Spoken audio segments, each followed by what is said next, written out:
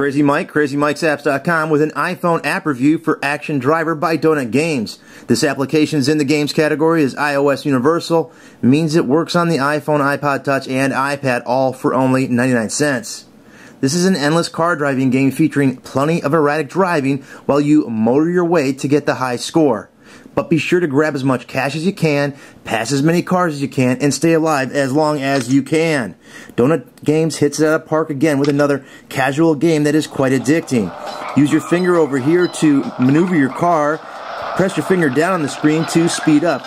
You're going to have to find the right combination of speeding up and slowing down because there are lots of things to watch out for.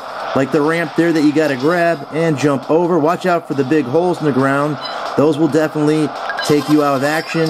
Be sure to maneuver your way out of there. Now they're dropping rocks randomly. You can see the shadow of where they're coming, but if you don't move fast enough, you'll run into a huge rock. Now they give you a breakdown after every scene, total score, cash grabbed, cars passed, round duration.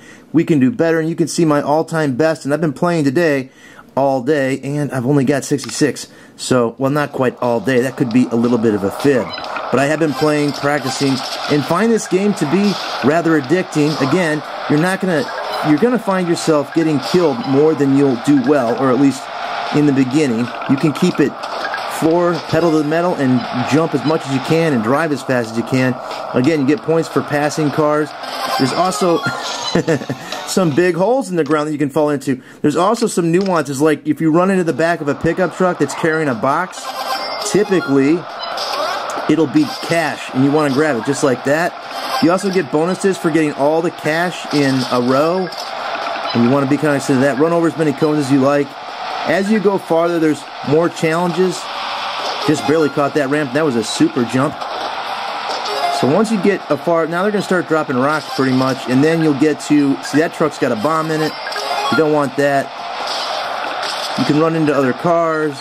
But the object is to stay alive as long as you can instead of hitting rocks like that. This is a fun game. Almost broke today's high score. We'll go ahead and head out of here. Again, Donut Games hits it out of the park with another casual game. I don't know how they do it over there. They're just really simplistic, thinking people that make some really cool games that are very uh, low stress, high drag. Until next time, this has been Crazy Mike from Crazy Mike's Apps saying see ya.